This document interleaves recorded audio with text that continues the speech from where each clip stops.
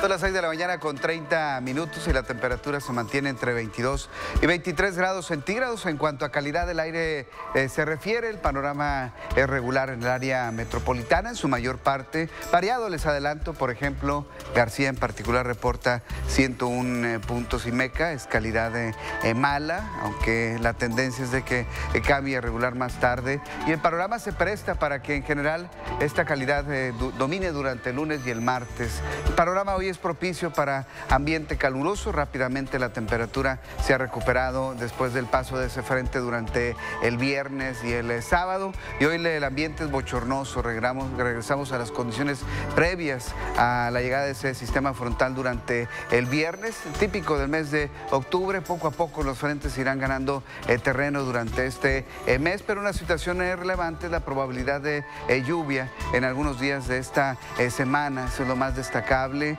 en, condiciones mucho más favorables para que en sectores de Coahuila, diferentes sectores de Coahuila, Nuevo León y Tamaulipas se den estas condiciones para el miércoles y jueves. Por lo pronto, lo más relevante en el satélite es precisamente la presencia de este extenso sistema de alta presión, este domo de altas presiones que domina sobre el Golfo de México y que se extiende hacia la región noreste y que favorece condiciones de escasa nubosidad y sobre todo altas temperaturas. En la periferia de este sistema de alta presión se desplaza una perturbación tropical que ha estado generando intensas lluvias en el sur de Baja California y que se extiende hacia Sinaloa, hacia el sur de eh, Sonora y también hacia Chihuahua. Es lo más relevante en cuanto a condiciones atmosféricas y la actividad de eh, lluvia fuerte persiste. Les adelanto, al menos para este lunes y en parte del martes en Baja California, en Sinaloa, extendiéndose hacia Chihuahua. Y la humedad asociada a este sistema estará desplazándose hacia Texas, interactuando con eh, aire húmedo del Golfo de México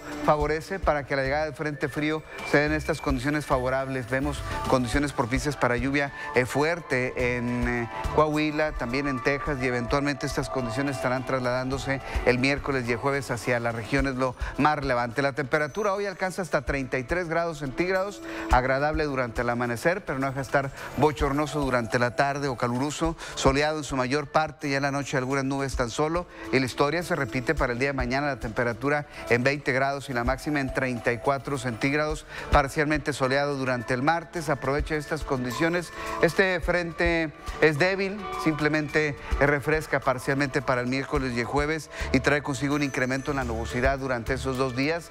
19 y 26 la temperatura para el miércoles con cielo mayormente nublado y la probabilidad de lluvia o chubasco acompañada de tormenta eléctrica vigente durante parte de la tarde o noche, así para el jueves donde la temperatura alcanza 17 grados y en la tarde 25, 29 para el viernes y el sábado llegando al menos hasta los 31 grados es lo que estimamos en Monterrey. Mientras tanto, Nuevo León las temperaturas alcanzando entre 32 y 34 grados Celsius, ambiente bochornoso en Anáhuac, en Sabinas Hidalgo, también en China, Cadereyta, Montemorelos, en Linares se dan estas condiciones, igual también para la mayor parte de Tamaulipas, entre 32 y 34 grados centígrados, ambiente bochornoso dominando durante este el lunes y la historia se repite para Coahuila durante este día. El cielo medio nublado hacia el norte, hacia el sur soleado. En el caso de Saltillo, la temperatura llegando al menos hasta los 28 grados Celsius es lo que estimamos. Faltan solamente 13 días para el cambio de horario, que es el próximo domingo 27 de octubre, siempre el último domingo